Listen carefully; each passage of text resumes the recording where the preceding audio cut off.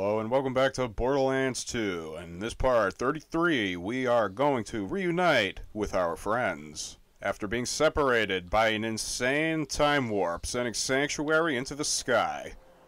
It wasn't a time warp, it was just a space warp. Oh, this is so frustrating. You see, this is what I don't get about you bad guys. You know the hero's gonna win, but you just This is one of my favorites. Quickly. Man, uh, example. This one guy in New Haven, right? City's burning. People are dying left and right. Yada yada yada. This jackal rushes me with a spoon. Spoon. a freaking spoon, and I'm dying laughing, right? So I scoop out his stupid little eyeballs with it. and His kids are all, Wah!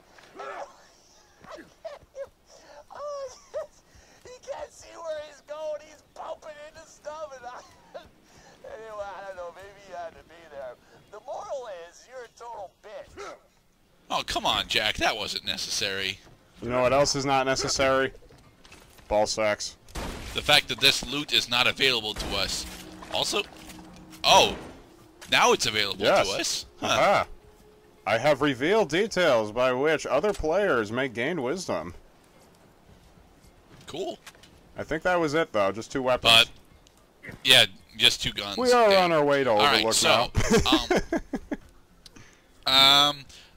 okay, so we're in the Highlands, and the Highlands is actually infested almost entirely by uh, insect uh, by insectoids, uh, specifically stalkers, and my least favorite enemy type in the game, threshers. Yeah. I dislike threshers. Threshers, I Mostly because the first uh, the first uh, encounter that I had with a thresher, uh, the gluttonous one, took me like seven fucking attempts to kill it because I couldn't because I didn't understand that the additional tentacles that I couldn't see were uh, were the actual uh, weak spots for it. Right, and also that the gluttonous thresher also has a shield by the artificial shield provided by the control core it swallows. Or the, the signal beacon, the, the, the MacGuffin. The MacGuffin gave it the powers. It's always the MacGuffin. Yes. Mm. All right. So as of now, I have officially finished my own my own first playthrough of Borderlands 2, and I have to say, although I most although I mostly enjoyed a a, a, a large portion of my playthrough, I honestly do not think it's as good a looter shooter as other people have tried to convince me that it is. It's fun. The writing is fucking brilliant, and a lot of the and a lot of the weapon types that you're that you're that you end up using are really damn uh, fun to play with. However, if you did what I did, which was stupidly attempt to go through the uh, the story and and just uh, just go through the story, Cloud, that's not how you fight the warloaders. Come on. No, you just aggro. Aggro! You don't use shotguns on warloaders. Yeah! Okay. Um, but uh, but as as I was mentioning, although I although I oh, Victory, sure, fire okay, in the air. okay, but although I enjoyed a, a large uh, majority of my playthrough with Borderlands 2, I don't think it's actually as good a looter shooter as a lot of people wanted me to believe it is. Especially when you consider the fact that it really, really wants you to do side quests that it that don't really have the the, the best uh, reward or structure for your character. I ended up just tr- trying to rush my way through the campaign, and I was underleveled the entire time. I ended the game after killing uh, after killing Handsome Jack at 30, as in the quest the, the quest to complete. When I completed the quest before killing Handsome Jack, I leveled up to 30. Yeah, and that's fine because at least you know the enemies that you needed to kill in the name of of game completion were at least within your target level range, so that you were not trying to kill a skull and crossbones enemy. Oh no, they weren't. A majority of the enemies that I fought uh, during uh, during that segment were level 32. So yes, a majority of the enemies that I fought during the uh, final gauntlet were skull and crossbones, No, but not no, but the difference has to be three or more in order to have skull and crossbones. and they were because I uh, because I spent most of the most of the final uh, I spent most a majority of the uh, the gauntlet going up to uh, going up to handsome jack at 28. Uh, after the gauntlet where uh, where Mordecai and Brick ended up abandoning me because I left them behind to deal some units, I was 29, and then I was 29 for the final fight, and I leveled up to 30 after the fight. Oh shit! So you killed you killed the final boss in Skull and Crossbones mode. Yes, Damn son. he was 32 and I was 29. Well, it just goes to show that this game is on the uh, easier side for one thing, and also that depending on your luck and your willingness to go and do a bunch of ridiculous shit at times, that you will get the properly rewarded guns that have the power you need in order to win the game. Although, I I mostly disagree with that particular statement because, okay, the big issue that I have with just rushing through the main story is when you get to segments like this, where you're just, you're fighting, just fighting. Hyperion robots the entire time. And Hyperion robots do not function the same as any other enemy type in the game. All the other enemy types have pretty obvious uh, weak spots that you need, that you can take advantage of in order to score critical damage on. But the loaders and the robots specifically, well, they don't. Like the uh, for the gun loaders and all and a majority of the other uh, loader types, you have to actually shoot off the connecting parts of their limbs in order to score critical damage, or the uh, eye in the center. Right. And that can be a real pain in the ass for the majority of the weapon types, specifically shotguns. Shotguns are great, but they're not good against the robots, and it's it's really weird because ah, they should be really good. You, see, you, you hit for a, a 1400 damage there, but only about two of your shells hit the eye. Right, because of the spread shot. Uh, I agree that shotguns are Yep. not.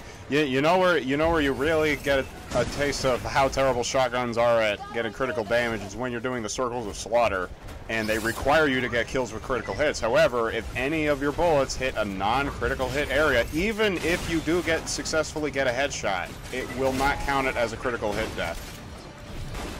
Yeah, because yeah, yeah, because a shotgun a shotgun damage is spread all, th- all all throughout the model. As opposed, don't shoot the shields. I'm Those are bullet reflecting shields, and they're introduced here. Well, they're not actually introduced here. Uh, the constructor, the, the constructor, and uh, that warden was actually had a bullet uh, reflecting shield, and it was annoying as, as shit. But you didn't have to really deal with it during the second fight. So Those bullet deflector Um, shields yeah. are the worst.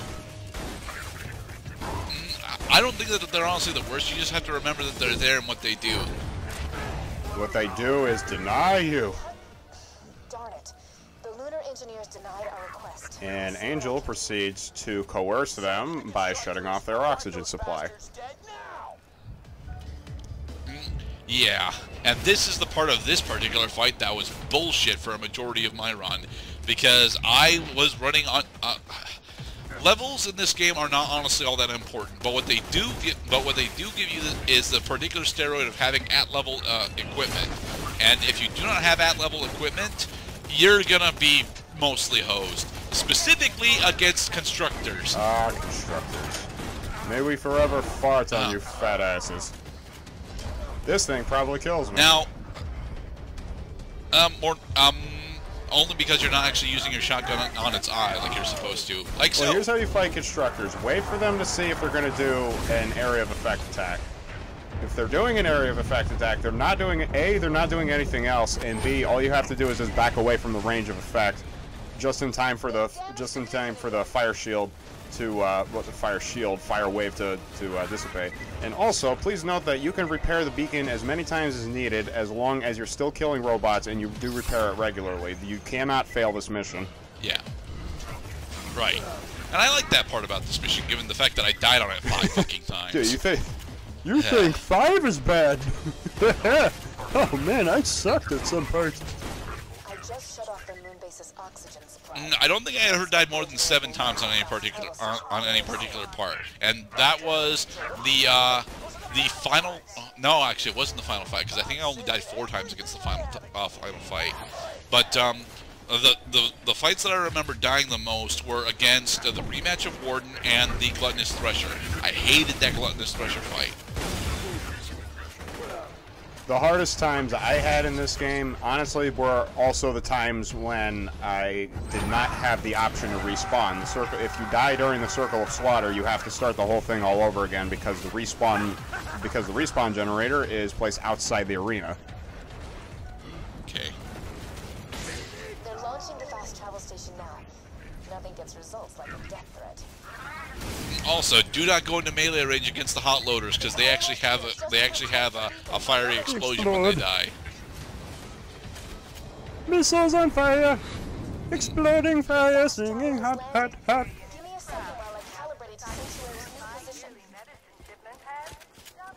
Fast travel station calibrated. Let's get the hell out of here. Now available for travel. Go, quickly! Use Must the fast travel loot station and guns.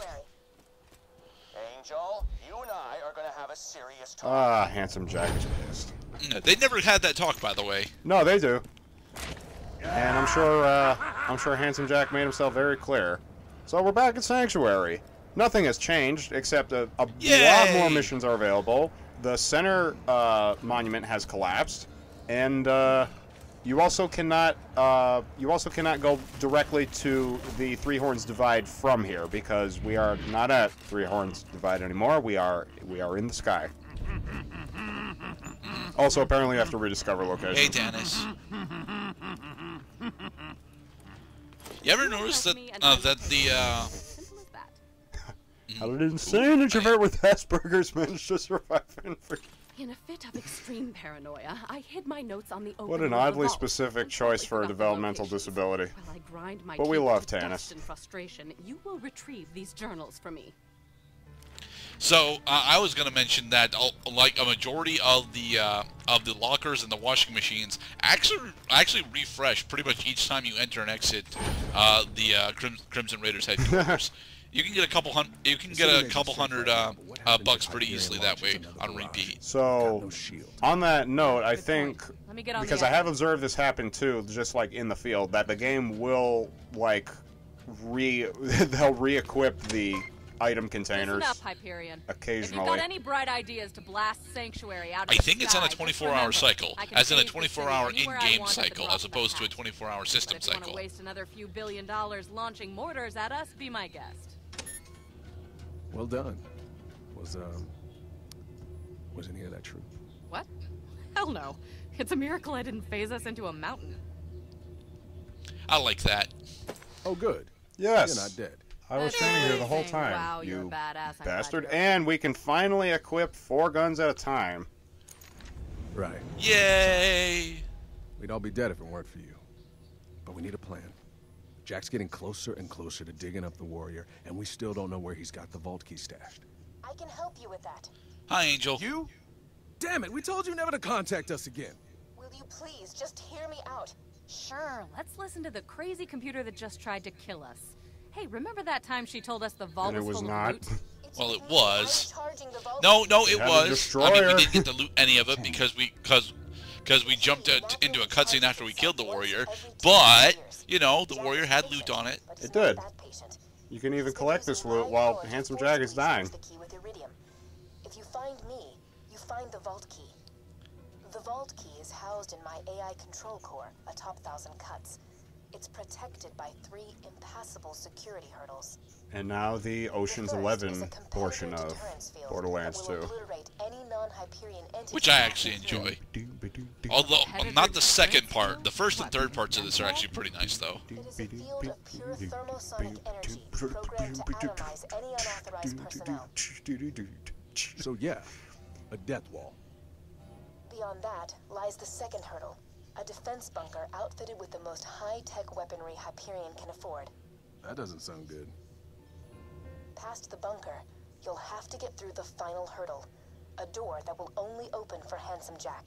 Well, that sounds even worse. Means we're gonna have to steal him. Opportunity to steal the vault key and stop Jack from controlling the warrior.